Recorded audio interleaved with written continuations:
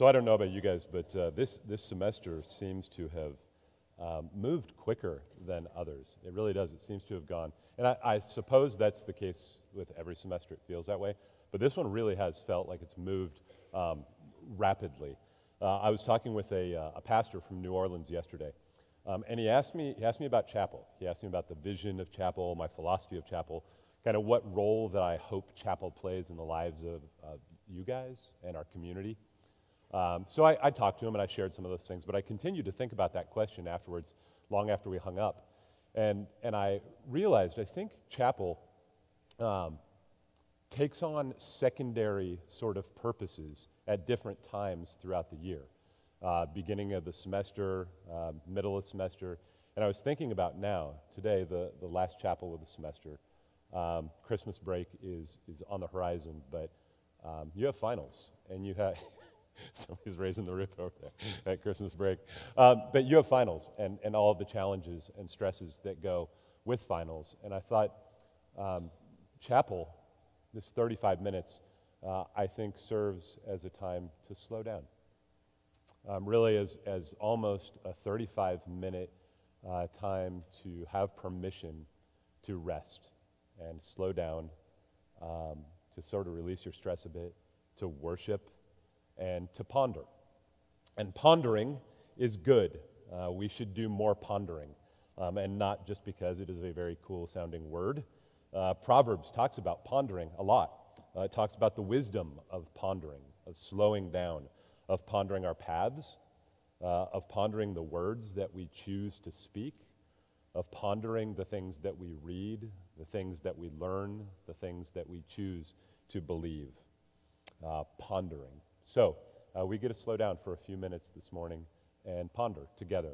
Uh, so, we'll do that as we uh, continue in the book of Colossians.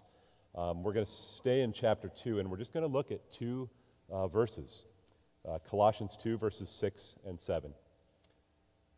Colossians 2 reads, Therefore, as you have received Christ Jesus the Lord, so walk in him rooted and built up in him and established in the faith, just as you were taught, abounding in thanksgiving. Will you pray with me? Uh, Father, we thank you for your word. We thank you that it can hush our souls. We thank you that it feeds and nourishes us like nothing else. And we ask, Lord, that you be with us now.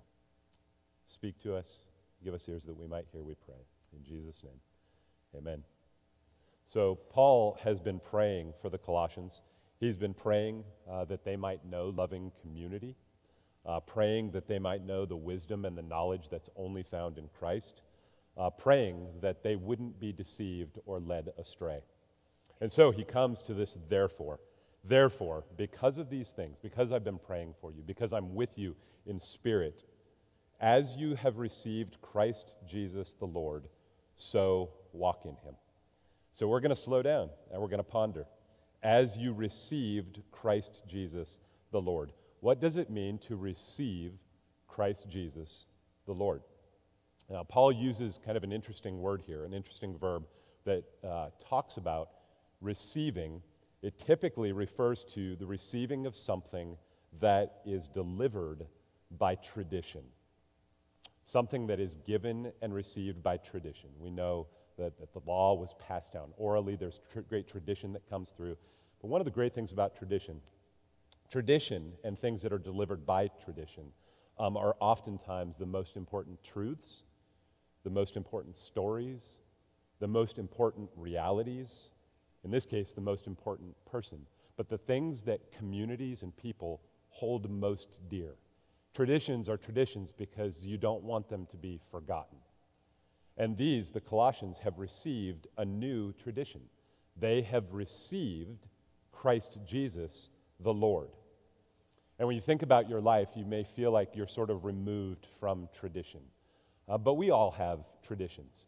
Um, sometimes they're, they're sort of fun life traditions. We have in our family uh, holiday traditions, we have Christmas traditions.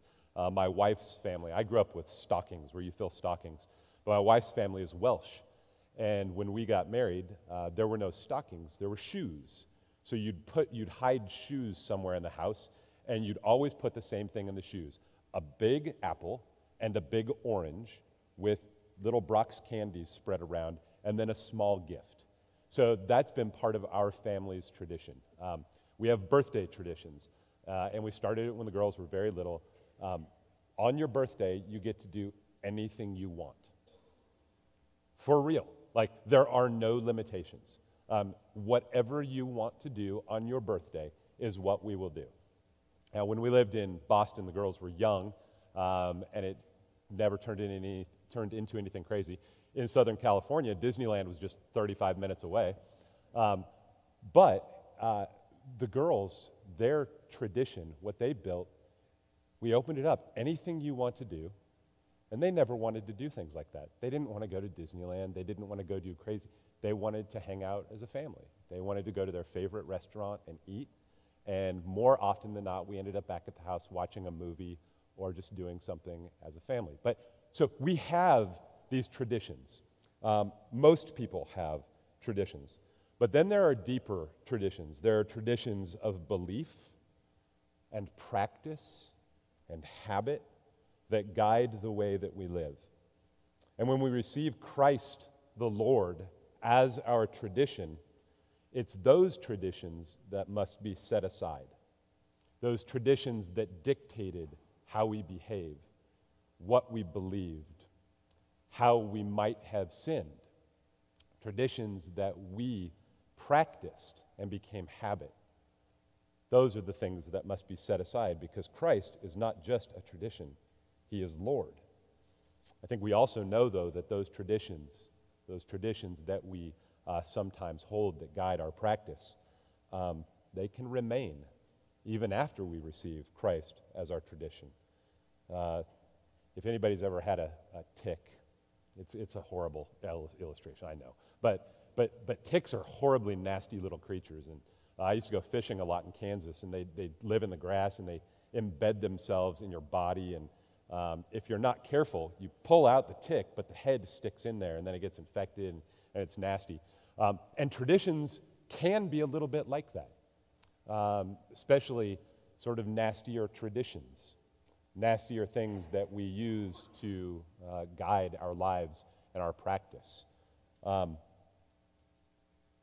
when we have a lifetime of habit and practice, tradition uh, that we're called to set aside, we can only do so when we rely on Christ to be our tradition. So I ask you, and I ask me as well, is Jesus my tradition? Is he yours? Has Jesus Christ become your tradition? Is he your truth? Is he your story? Is he your very reality? And is he Lord? Because it's not just here that they've received Christ Jesus as Lord, it's not that they've just accepted, is that they've literally received a tradition that is deep and true and real and should inform every element and every aspect of theirs and our lives. Is Jesus your tradition? The tradition that is Jesus is maintained by the Holy Spirit, by his indwelling presence in us. He is our story. So, walk in him. Paul says, walk in him. Walk in him. Walk in him because far from being a tradition of practice, far from being a tradition that's based on ritual and habit, Jesus is a tradition that is alive. He's a person, mysterious in so many ways, but alive and real. He is our tradition and He is alive. So walk in Him. And then we ask, why walk? Why does Paul say to walk in Jesus? Because walking, walking is the most basic mode of moving forward. We take steps, we walk through life. We take steps that lead us on the journey of life. When you think about life and the beginning of life, one of those early marks is the first time that you walk. You take steps out of the crib, and every, really, every aspect of life is a step forward in walking. You walk into your first classroom as a child. You walk perhaps down the aisle when you get older. You walk into your grave. We walk. That is moving forward in life. We walk because we live, so we walk in Him. And when we talk about walking, walking is such a, a, a thing that it's so easy to overlook. But think of how many different ways there are to walk. We walk with our, sometimes with our heads down, afraid of others, maybe, maybe focused on self. Sometimes we walk with our eyes wide open, looking around at everything about us. Sometimes we walk with our eyes open, lusting after the things that we see, wanting them, wanting to own them, hold on to them, for them to be ours. Sometimes we appreciate them, we're grateful for them. We see them when we give God glory for them. Sometimes we walk and we hurry from one place to another. Sometimes we walk slowly. You can walk with purpose. You can walk aimlessly. You can walk in evil. You can walk in righteousness. But Paul says, walk in Him. And what does that mean? What does it mean to actually walk in Christ? It's a good platitude that we could throw out. Walk in Christ, walk in Him. But what is Paul actually talking about? What does it mean to walk in Jesus? And it means a lot of things, including the fact that He is our journey. Walking in Christ, He is our journey. He is every step that we will take. It means so many other things, and I want to encourage you figure it out. What does it mean to walk in Him? Figure it out. Think about it. Pray about it. Answer that question because you must answer it. It's not something that I can simply tell you what it means for you to walk in Christ, but it is something you have to know the answer to. It is something that you will have to figure out in your life. What does it mean to walk in Christ? I will say this part of the thrust of walking in Him means not walking apart from Him. Hear that. Part of what it means to walk in Him means not walking apart from Him. You will walk, you will live, do both in Him. For He is our truth, He is our tradition, He is the one that we have received and who has received us. So walk in Him, rooted and built up in Him, and established in the faith just as you are taught. And here is how you do it. Told to walk in Him, and now Paul's going to tell us how we do it. Here's how you do it. Here's how walking in Him is possible. You must be rooted and built up in Him. You must send your roots down deep into the truth that is Jesus. And the reality is, we all have roots, and we will set them somewhere. Sometimes we set the roots in healthy places, sometimes we set our roots in places that are not so healthy. Paul says we must be rooted in Christ. And the metaphor, the metaphor is so important here. The Word of God is so beautiful and so perfect in the way that it picks the perfect metaphor. Be rooted in Christ. The roots of a tree serve to stabilize a tree. They feed the tree. They protect the tree from what goes on above. I don't know if, if you've ever seen a palm tree in the midst of a massive storm. Uh, when we were in Pasadena, we'd get massive Santa Ana winds, and palm trees would, would sway and they could bend 90 degrees without breaking. And when you look at the root system on a palm tree, the roots, they don't actually go down super deep. It's this crazy root ball that's formed and reaches in and holds on to the ground. But if you looked at like the cross section of an oak tree, an oak, big, massive trees, they're the ones that put roots down deep and wide, way down into the ground. They feed the tree. They stabilize the tree. They hold the tree so that no matter what happens above, the tree is going to be okay. The tree is going to be solid. Paul says, put your roots in Christ. That is what it means to be established in faith. as they were taught, as we're taught, we must be rooted. And when we're rooted, we can face the winds, we can face the teachings that the world brings, we can face anything that comes our way and not be blown over. Rooted and built up in Him, established in faith, just as you were taught, abounding in thanksgiving. And then, and here's the sweet, sweet reality those who are rooted in Christ will abound in thanksgiving. Those who are rooted in Christ will abound in thanksgiving. And I could come up with all sorts of different illustrations, but I'll, I'll tell um, someone else's story. Uh, I don't know, do any of you know Sarah Womack? A few of you? Uh, Sarah's a sophomore at Covenant. And for the last, since, since August, she's been um, battling and I might say kicking cancer's butt.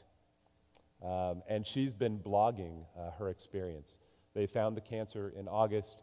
Um, she's gone through treatment, and she uh, just now recently went through um, one of her last treatments. Uh, and she's been blogging her experience. Hear what she says, because this is an illustration of what Paul is talking about. It's alive. Early in her treatment, one of her very first blog posts that she wrote, she wrote this towards the end of it. She said, Yeah, going through chemo is the heaviest burden I've ever carried.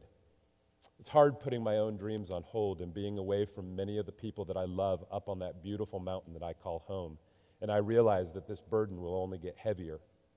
Yet at the same time, being at the point where Jesus is literally all that I have left to hope and trust in has made me more free than I have ever been. Those are deep roots. After a year, well, after four, four or so months of cancer treatment, all the challenges that go with it, she wrote this the day before Thanksgiving. So just a few weeks ago, she wrote, What a crazy year it's been. But wow, do I sure have more to be thankful for this Thanksgiving than I ever have. And then she went on to write, The same power that rose Jesus from the grave the same power that commands the dead to wake lives in us. If you have a chance, go and read all of her blog posts. They're encouraging, they're challenging, they're convicting, but they are the words of a woman who is setting her roots deep in Jesus Christ, abounding in thanksgiving. And that is what it means. That's what it means to be rooted to be able to face anything the world can throw at you and to still abound in thanksgiving. So let's continue. Let's continue to ponder. Let's ponder how we can walk in Him. Let's ponder what it means to be rooted in Him. And let's always be thankful because of Him. Let's pray.